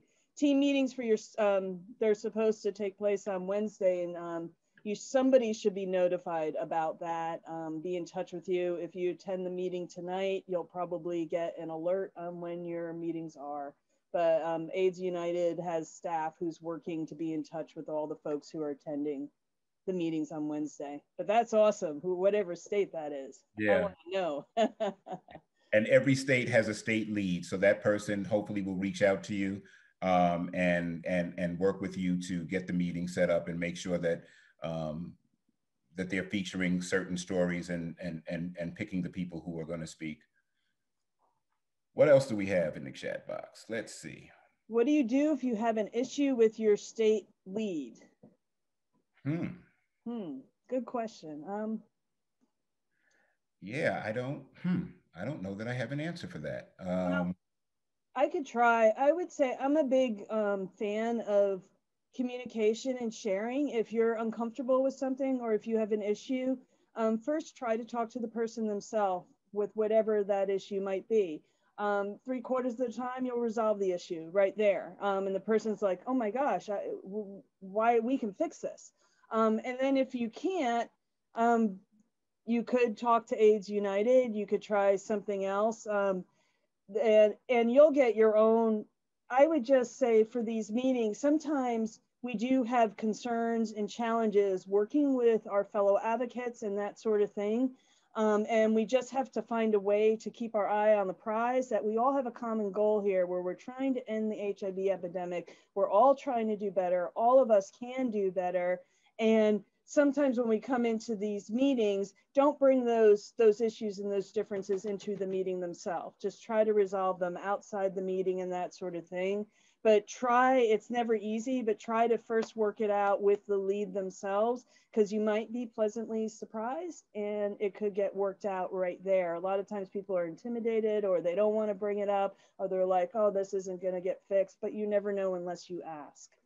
Yeah uh, angel soto said in the chat address it kindly and calmly yeah you know yeah. that's it um, chat box is moving very quickly. Um, let's see. And state leads are kind of, we're just here, um, like I'm a state lead, we're just here to kind of facilitate, to help guide new advocates, particularly on you know, what is this all about? What are we doing here at AIDS Watch? You know, what do we do in these legislative meetings um, and, and that sort of thing? And, you know, just, just kind of go along and hopefully, you know, it'll be a great experience for everybody. So William Scott eh, uh, Daly says, who do we ask who our state team leader is? Once again, you should have an email from Soapbox. Um, if you signed up and said that you were going to be attending the um, um, Hill visits, then you should have an email from Soapbox and it will have a link and it has your schedule and it has who your state team is and it identifies who your state lead is. So if you don't have that, reach out to somebody on the AIDS United side and they'll put you in touch with Soapbox and um, um, so that we can get you in. And then you have to come to that meeting tonight. For the, what do we do if someone in our group says something that is incorrect during the meeting?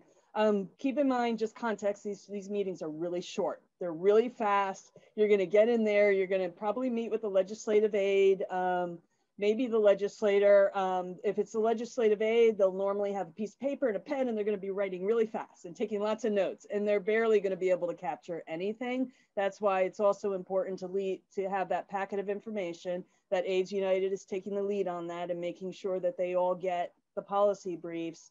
Um, and then they'll hear your stories, which will stick because stories stick with us, right? Because they are powerful. Um, and if somebody says something inaccurate about a bill or something, I would not really draw attention to it in the meeting. There's just not enough time. And the legislative um, person you're meeting with probably won't even retain that. But afterwards, you can kind of use it as a, you know, just a teachable moment. Hey, you know, this wasn't quite correct, you know, you, you know, and, and just, just fix it for the next time you go around. Or if you follow up in, in an email, to thank them when when you're done with your meetings you could correct the information there give them the correct information that is in writing or text or a thank you letter there but i would not necessarily correct it in the meeting there's just not enough time the legislative aide they don't really know the issues the way that we do so they're not getting all those subtle nuances and details where somebody might say something um, inaccurate in a meeting, which can very well happen. We all do it, you know. Um, so, right. So we only have a minute left. I'll, I'll close by saying with we thank you all for being here. Those of you who've been here before and those of you who are new. This is an awesome opportunity to get our stories, our collective HIV stories out there. And um, we are really proud to be here to help you guys through it. If you have any other questions, there's a lot of folks on this call who have been um, in this position before, in at AIDS Watch before, many of them in your state. So find somebody in your state that might know know the answers to some of the questions. And if you don't get the answers, come to the meeting tonight with Soapbox and um, the sessions tomorrow and network with people. That's the other thing about AIDS Watch. It's a great networking opportunity. So network with people to get the answers that you need. So thank you very much. And thank you. All right, everybody. Thanks. We're going to turn it over to Marianne. Thank you so much, Malcolm and Carrie, and hello again, everyone. My name is Marianne, and it's great to speak with everyone again. We're going to spend the, uh, some time now, uh, following Malcolm's suggestion to know the issue, to go through the digital AIDS Watch folder and review the briefs that we have prepared for the Wednesday meetings with members of Congress. Our panel today will include myself, Kamaria Laffrey from the Sero Project, Victoria Rodriguez Roldan from AIDS United, Carl Baloney Jr. from AIDS United. And as we go to the next slide, we'll start with Kamaria, who will talk about the civil and human rights brief. Then we will review the access to healthcare brief, the sexual wellness, the sorry, the appropriation appropriations brief, and then the sexual wellness and reproductive rights brief. Whitney Thomas has dropped the links to the English and Spanish briefs in the chat. And we encourage folks who have questions to use the Q&A box to ask questions. I will ask our panelists to keep an eye out on that Q&A box throughout the panel and invite them to either answer, um, answer via the Q&A box and type out an answer or if we have time, um, I'll ask them to add a couple thoughts at the end of the panel. So now, without further ado, we can move to the next slide and I'll hand the mic over to Kamaria.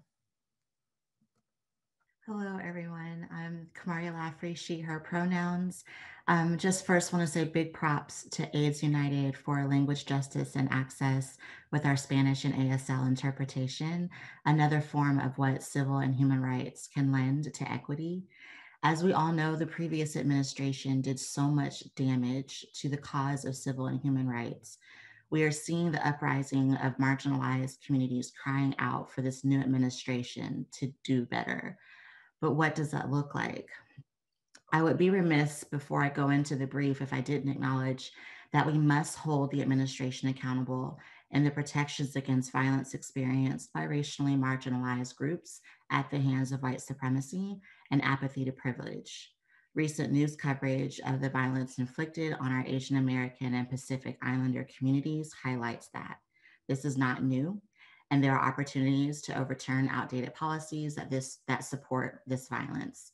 Our communities experience much harm that does not go televised or broadcast in the news, so our ask to do better look like the following few things. It looks like protections of the rights of all racial and ethnic groups by making protecting voting rights a well publicized priority in the necessary agencies and departments as we pass the For the People Act and the John Lewis Voting Rights Advancement Act. We saw what voter suppression attempts have done, and as of January this year, more than 20 states have um, proposed policies that restrict access to voting in one way or another, and we must do better. We also need protections to the rights and privacy of all people living with HIV and enact legislation aimed at the repeal of HIV criminalization laws.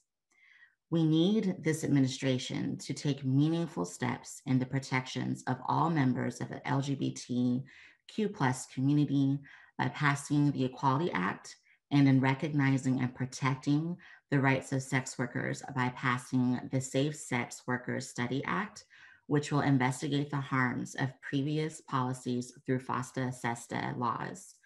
We must also be alert and fight the passage of the Earn It Act that incentivizes private internet platforms um, and surveillance and censoring the public.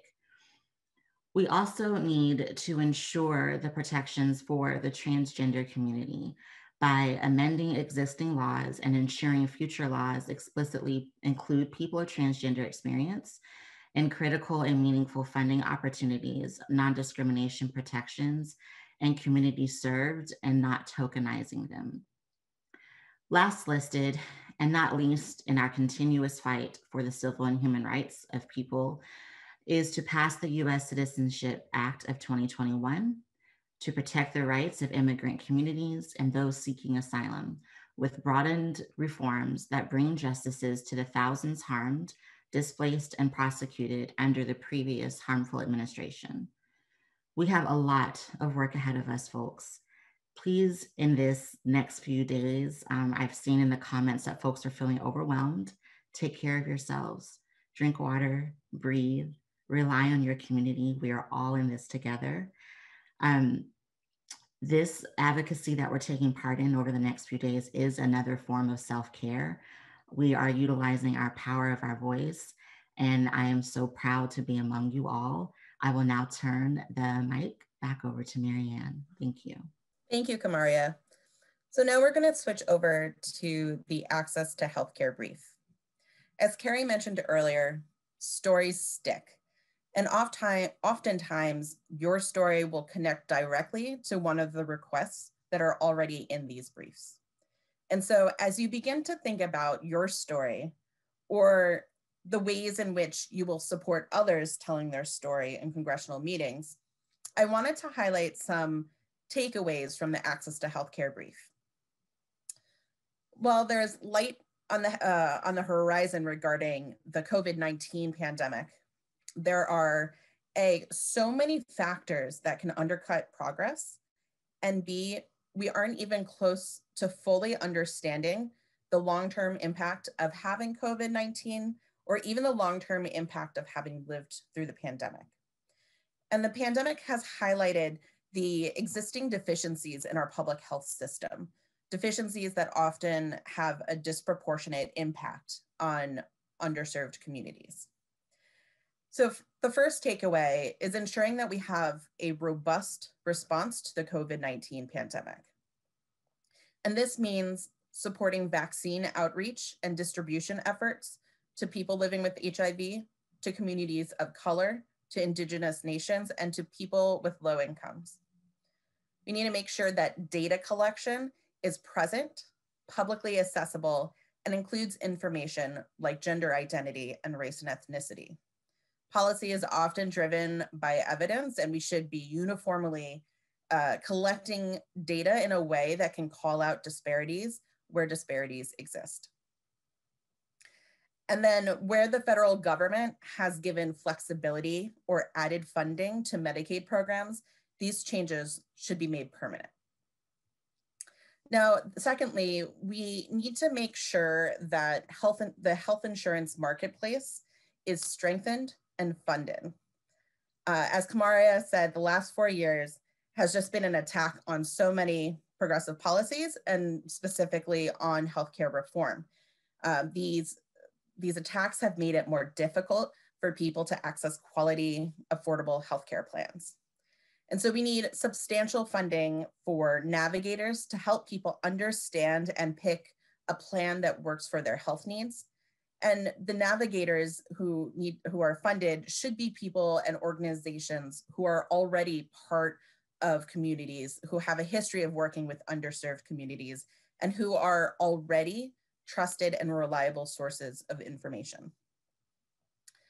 We've also highlighted three specific legislative asks the Equality Act um, has already been introduced.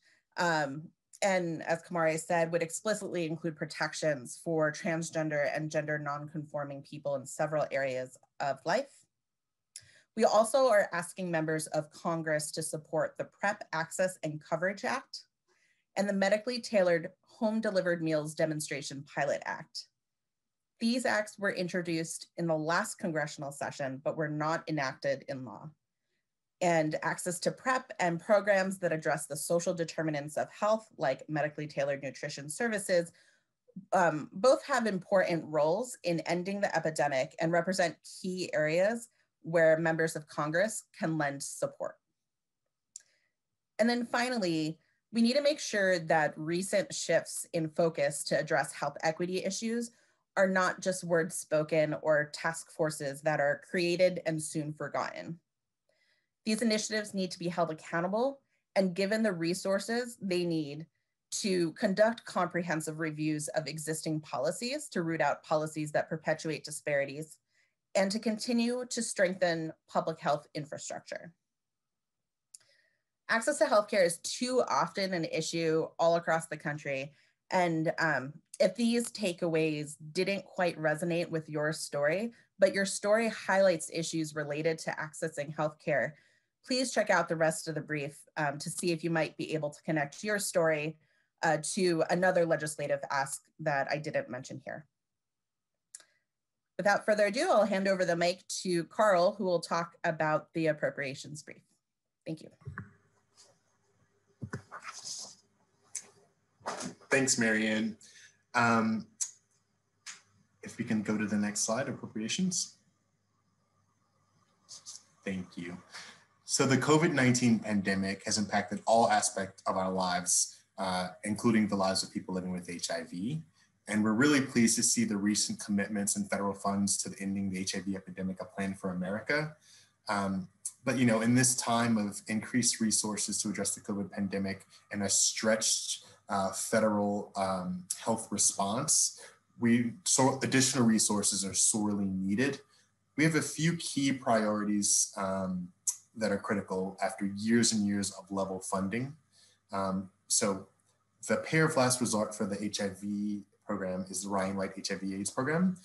Uh, we are asking for 2.77 billion. That's an increase of 345 million dollars for the Ryan White program. It is a critical program that only serves people living with HIV. An additional program that is critical and speaks to the social determinants of health is the housing opportunities for people with AIDS program. This program sits within HUD, Housing and Urban Development, and requires 600 million in funding so that no one who depends on its services lose housing. Um, about five years ago, the HOPWA program uh, within HUD was modernized to reflect the current epidemic. We saw a shift from total AIDS cases to uh, the, to where populations are currently centered living with HIV. Um, and as a result, new funds are needed to keep those localities whole. So we're requesting um, an additional 170 million for a total of 600 million for the HOPWA program. Another great program, the, the Minority AIDS Initiative, uh, we're requesting 610 million or 165.9 million in additional funding to support reaching uh, minority communities with novel approaches um, that are proven to be effective. Again, Congress should support the involvement of necessary other federal agencies in the epidemic. We can't do it in silos. Just like any of the work that we do, everyone has to be talking. So we need to see the Housing and Urban Development Department, the Substance Abuse and Mental Health Service Administration, known as SAMHSA, and the Department of Interior included um, in, in responding to the epidemic.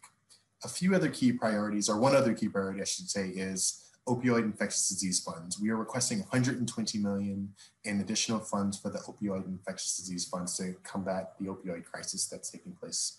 Um, all of these things um, are, are, are, key to ending the epidemic. Um, so we've been talking about your story, um, shaping your narrative, and um, and sexual health and wellness and education.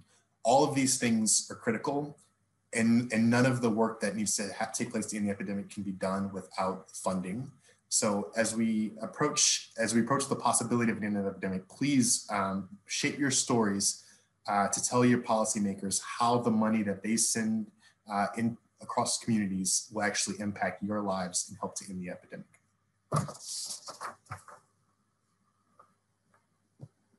And I'll turn it over to, I believe it's to Victoria. Hello, everyone. Can people see me? That's great. Awesome. I can see myself even. First off, I want to apologize for the giant box of Keurig coffee behind me. Uh, it's COVID. What can we do about it? So, sexual wellness and reproductive rights. The goal of this one uh, is to focus on the issues that impact, again, sexual wellness uh, throughout the lifespan and reproductive rights from a justice perspective. Reproductive uh, justice impacts everybody in the uh, community of people living with HIV. Among the initiatives that we're advocating for are codifying the protections of Roe v. Wade into law. What does that mean?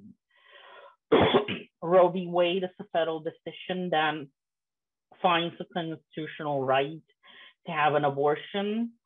However, it has been weakened over the years, over the decades by the Supreme Court, by uh, anti-abortion rights advocates and so on, anti-choice advocates throughout the years with the goal of making it harder and harder to access an abortion in, the, in, in their given states. And with the current composition of the Supreme Court, thanks to the last administration, because after all, elections have consequences, we have a court whose makeup is more hostile to keeping Roe v. Wade than ever. So it is essential in order to keep abortion a national right, have a national right to choose, for Congress to codify into federal law the right to the constitutional right to a free and safe abortion, basically. Uh, the second one is to repeal the Hyde Amendment. This bans federal funding for abortion care. What does that mean? It means, for example, all the federal healthcare programs that exist, like Title 10, for example, uh, so on, cannot go into abortion. They can go into other stuff. They cannot go into abortion. This also translates into, for example, uh, federal health insurance. If you're a federal employee, I used to be a federal employee uh, years ago. That's where I started. My insurance could not cover uh, abortion for either myself or an dependents and so on, because that was subsidized by the federal government as an employer. Same with TRICARE for federal employees, uh, Medicare Medicaid in the states that cover it is because state governments have chosen to do that with their own state money. Eliminating the Hyde Amendment would enormously expand access to care, to reproductive, necessary reproductive care throughout the span. So, supporting adolescent health and sexual programs. What are we talking about? Investing in the teen pregnancy prevention program to prevent teen pregnancies. We're talking past the Real Education for Healthy Youth Act, which we already have a bill for. The Past Youth Access to Sexual Health Services Act to increase the services and sexual education that exists for youth. Likewise, defund and eliminate federal abstinence only until marriage programs. What does this mean? right now, we see uh, federal funding for programs for the last several decades that go solely into abstinence-based sex education. We need to end that to ensure that abstinence-only sex ed is replaced with comprehensive sex education and programs that promote actual sexual wellness. Uh, and this leads to gag laws, gag rules that exist right now. Also, protect older adults living with and are vulnerable to HIV. This includes amending the Older Americans Act to designate people living with HIV as a community of greatest social need and opening up access to crucial services, meals, job training, senior centers, health promotions, benefits enrollment, caregiver support, etc. But this uh, and this is particularly essential, to be very honest, as our community gets younger at times. It is often easy to overlook our elders, especially uh, despite the fact that our movement has grown older, despite the fact that many of the survivors of HIV are aging into uh, being elders living with HIV. Uh, and thankfully, and that is a wonderful thing, but we cannot abandon them in, in old age. Uh, we cannot abandon our senior citizens in uh, if we're living with HIV.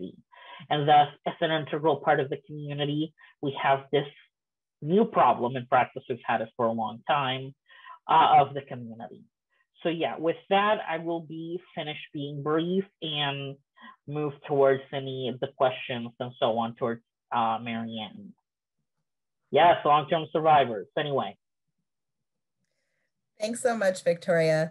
Um, I'm going to pause here to see if any of the panelists have additional thoughts to raise about the briefs or about how to reference the briefs in Wednesday's visits.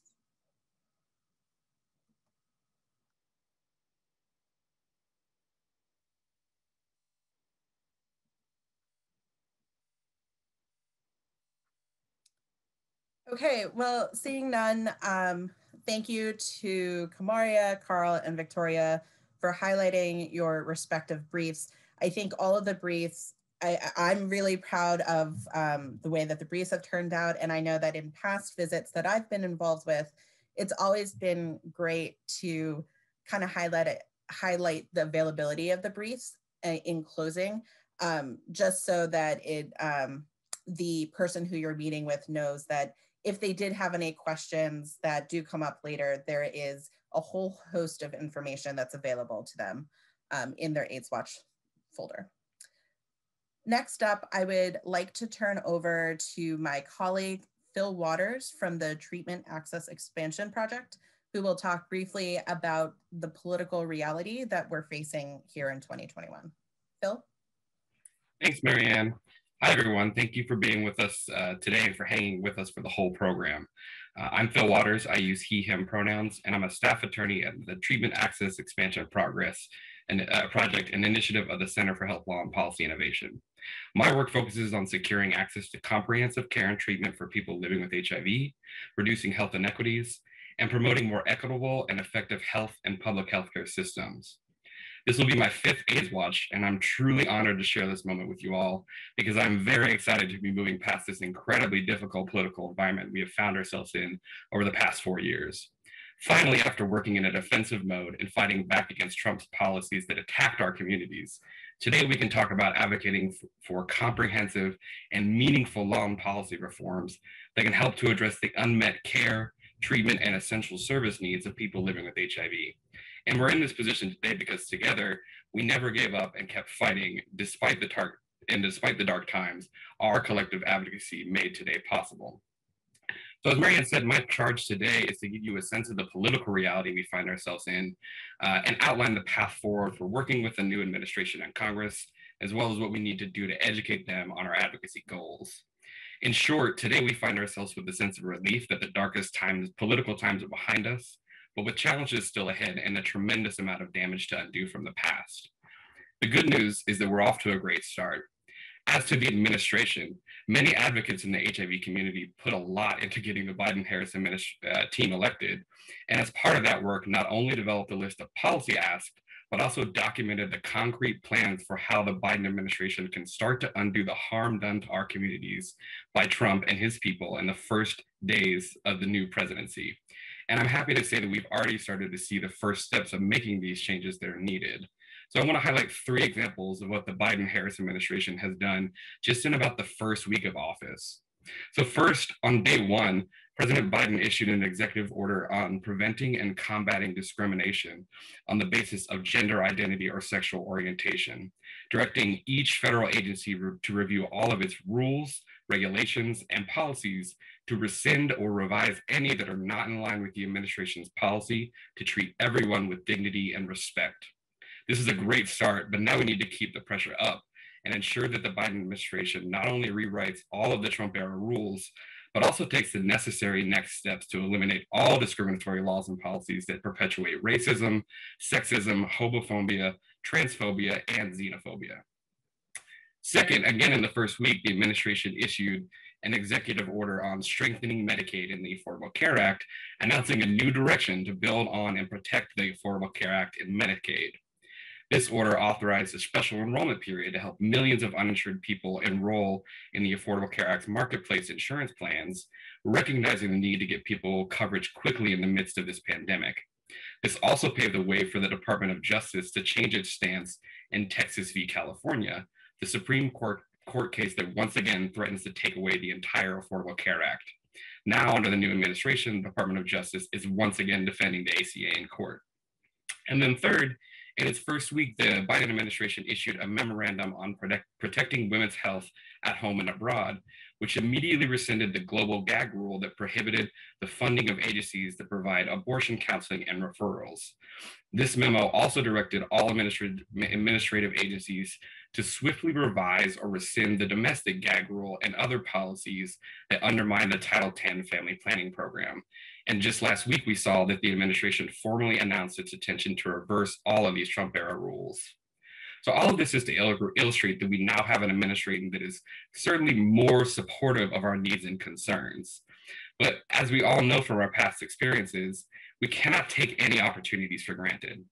For those of you meeting with the administration officials, we have to remind them that well-meaning is not the same thing as well-performing as advocates, we have to work hard to encourage the administration to prioritize issues that are most important to us and to understand that simply undoing the bad from the last four years is insufficient.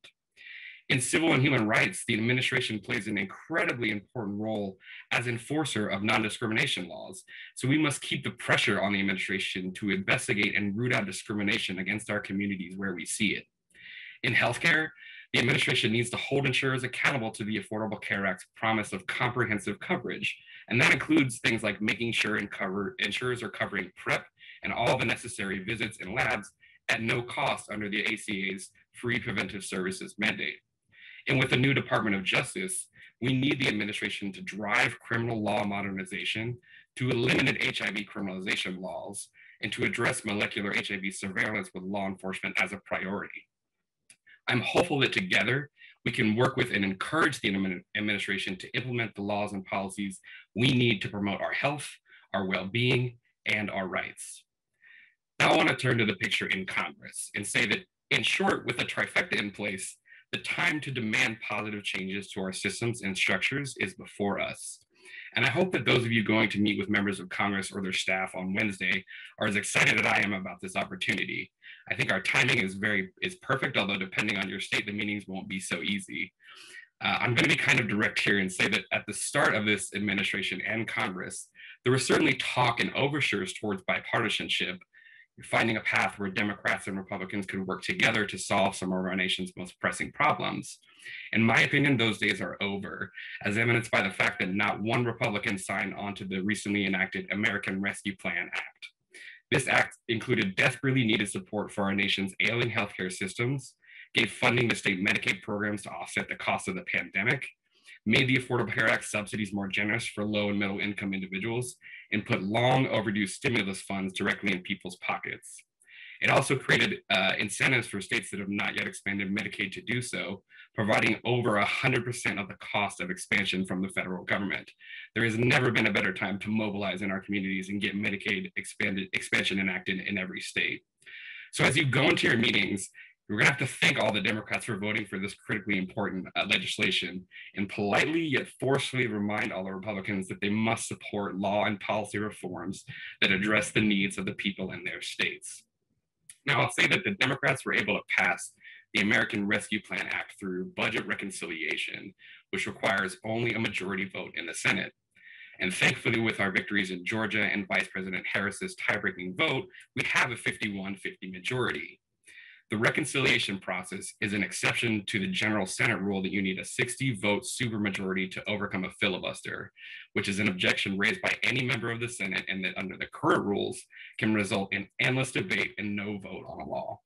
While there is talk of changing the filibuster rules, which I support, this has not happened yet. So with bipartisan collaboration all but dead, the Democrats are left with using the budget reconciliation mechanism to get things done. But there are many limits on what can be accomplished through reconciliation. I don't want to get too far in the weeds, but I do think it's helpful to briefly explain the process here. Each session, Congress gets to set a budget resolution that starts the process off.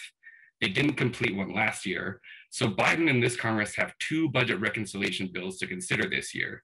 One that was just passed as the American Rescue Plan Act, and one more left before the end of the year.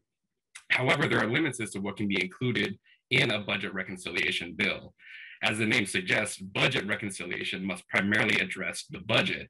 And so this process is really only used to raise or lower taxes or provide funding for certain programs. So unfortunately, the bad news here is that given these limits, without eliminating or changing a filibuster, there are many of our big legislative asks that may be really difficult to accomplish just using the reconciliation process.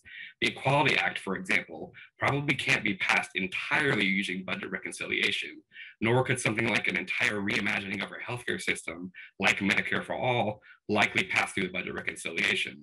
But that does not mean that we can't advocate for passing things like the Equality Act through other means or finding what parts of it we can fit through the reconciliation process. As advocates know, it's all about how you package your asks. Major changes have come in the past using budget reconciliation. For example, much of the Affordable Care Act was passed using the budget reconciliation process. So I don't want you all to feel discouraged by this picture. There's still hope that we can use this process to get important things done. And as Malcolm and Carrie helpfully said earlier, this is a marathon, not a sprint. So stay positive in your meetings. So in closing, I want to leave you with three takeaways of how I see this political reality before us. First, I think that when talking to members of Congress, we have to ask them to think creatively about our long list of legislative asks and be aggressive in including whatever is possible in that next budget reconciliation bill. Strongly encourage them to consider what it's going to take to meet the goal of ending the HIV epidemic and to include any possible provision in the reconciliation bill that will further this goal. Second, I think that we have to ask Congress, particularly the Democrats, to think boldly about how to get things done outside of the budget reconciliation process, including by mod mod modifying or eliminating the filibuster so that we no longer need a super, super majority to overcome minority resistance. To me, the past four years and the beginning of this one has shown us that the time for compromise is over. So let's take every opportunity we have and pass this, pass every law that we can. I think we need to stop being so nice uh, I think we need to recognize that human and civil rights are not negotiable, and we need to take the risk and enact our agenda now. We have a window of opportunity, and we ought to seize it. Think of all the good that we could accomplish by creating laws, policies, and programs that address the root causes of racism and other forms of discrimination. Think of how many people would have better health and well-being if we eliminated barriers to care and had programs that address the social determinants of health. Think about how many people's lives would be improved if we finally got rid of, rid of the limits on sexual and reproductive health care, including the ban on federal funding for abortion, the Hyde Amendment, as Victoria just told us. Think of what we could achieve if we had comprehensive strategies to address mental health and substance use issues, including harm reduction strategies such as removing a ban on federal funding for sterile syringes. And ultimately, think about how much we could, how much more effective we could be in ending the HIV epidemic under this new political reality. And third and finally, whether you're talking to a Democrat or a Republican, I think we need to remind them all that we have all the tools necessary to truly end the HIV epidemic. And with their support of our asks, this could be accomplished under their watch. So in conclusion, let's all be sure to keep the pressure up on both the administration and Congress change takes a long time, but it does happen. This is an exciting time for all of us. I hope you find yourselves as passionate as I am. I hope you find yourself confident and optimistic in your meetings with Congress and the administration on Wednesday. Uh, thank you for being with us. Thank you, Phil. Thanks for that. Um, I also want to say a special thank you to everyone who's presented today. Um, thank you to our planning partners, the U.S. People Living with HIV Caucus, from my colleagues at AIDS United, and our uh, planning partners at the Treatment Access Expansion Project. We really couldn't do this without each of you. And thank you to all of our listeners who joined us today. Um, I also want to give a special shout out and thank you to our sponsors, particularly our longtime sponsor, the Elizabeth Taylor AIDS Foundation for their stalwart support. And now just a little bit of housekeeping. We're about to take a short break, but please rejoin us at 6.15 you can access uh, the link at the AIDSWatch, I'm pointing to it, at the aidsunited.org slash AIDSWatch uh, to rejoin the reception that's going to be taking place beginning again at 6.15. So please enjoy a short break and rejoin us. You can also find the link in the chat to rejoin the uh, reception later on. Take care.